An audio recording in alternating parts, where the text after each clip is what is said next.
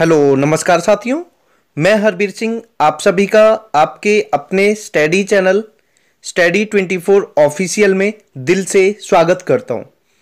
अगर आप इस चैनल पर नए हैं तो सब्सक्राइब कर लीजिए, क्योंकि यहाँ पर आपको सारी चीज़ें जेनविन मिलेंगी।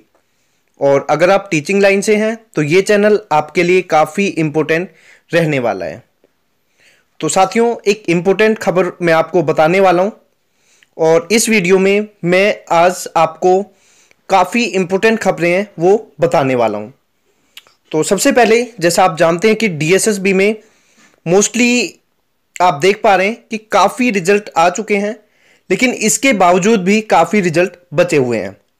जैसा कि आपको पता होगा कि डीएसएसबी ने टाइम लिया था कि फेबररी तक जो ये रिज़ल्ट का काम है, वो पूरा कर देंगे। लेकिन अभी भी काफ़ी रिज़ल्ट बचे हुए हैं।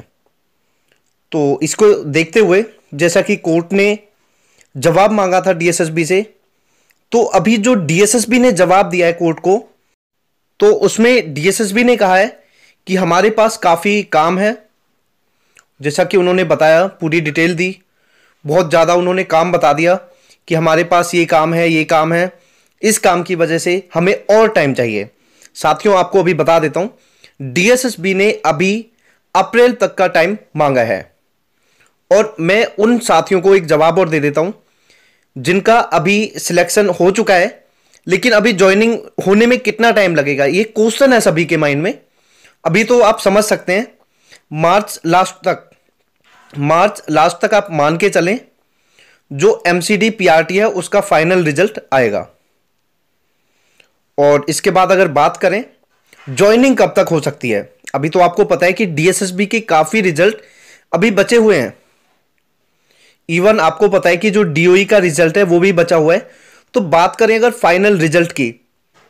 सॉरी फाइनल जो ज्वाइनिंग होनी है, वो कब तक हो सकती है? तो साथियों फाइनल ज्वाइनिंग आप मान के चलें, जून, जुलाई, कम से कम।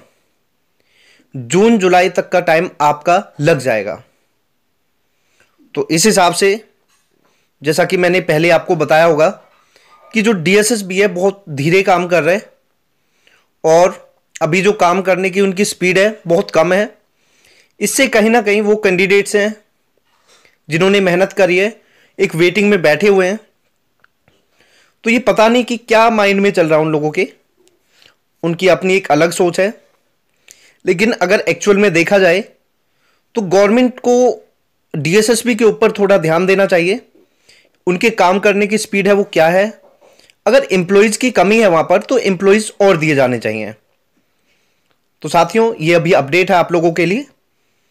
तो उम्मीद यही है कि आपका काम अगर जून, जुलाई तक भी हो जाए तो बहुत बड़ी बात है, क्योंकि इलेक्शन भी आ रहे हैं और इलेक्शन की वजह से काम बहुत डिले हो जाएगा, लोगों का ध्यान भी भटकेगा।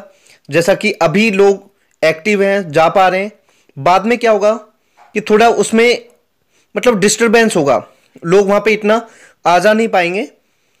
तो उम्मीद यही कि चीज़ें आपके साथ जल्दी ही अच्छी हो जाए और न्यू वैकेंसीज के लिए जैसा कि आपको बताया कि जल्दी कोई स्टेप लिया जाएगा।